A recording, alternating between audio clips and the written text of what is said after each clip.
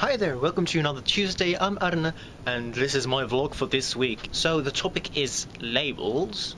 Do I use labels? Yes, I do use labels. I think many people use labels.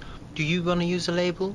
Then go ahead. Go ahead and pick any label you want. If you feel that this is a label that describes you, then you should have the right to use that label.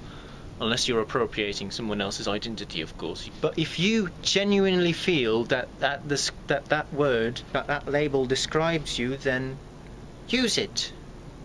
But be careful what with uh, what words mean. You don't want to um, belittle any word by using it too loosely. But anyway, I, I call myself pan-romantic asexual because I feel that this is a label that fits me and people call themselves pansexual because that is a label that fits them and no one no one should be able to yeah should invalidate that because your labels the labels you use are labels you use and you have the right to use them and your, these these are your things. These are this is your way of saying to the world this is who I am and I would like you to respect that. So don't tell me what label to use because I will choose myself what label I will put on me.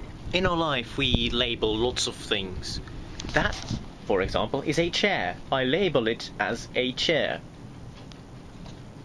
But sometimes people are gonna say, well, that is a sofa. Well, you probably can see that is not a sofa. That is just a chair for outside. But it's not a sofa. But people are going to label it something that doesn't always make sense. But we should actually ask the chair what the chair wants to be labeled as. Chair, do you want to be labeled as chair? Yes, yes. Okay, this is kind of ridiculous, but anyway, you get my point.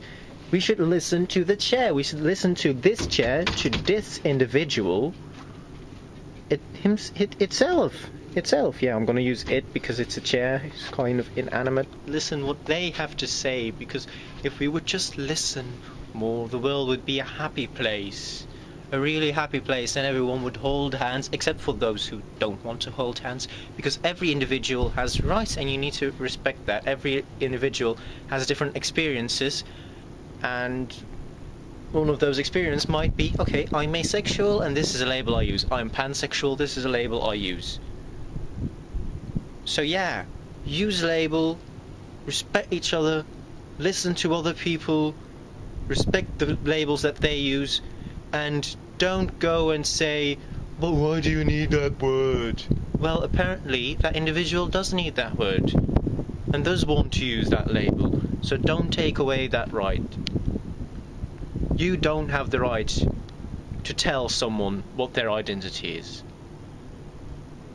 So I guess that wraps it up. I feel like I've said some of these things before in other vids, but this is what I have to say about labels, okay? So see you next week, next Tuesday, new topic.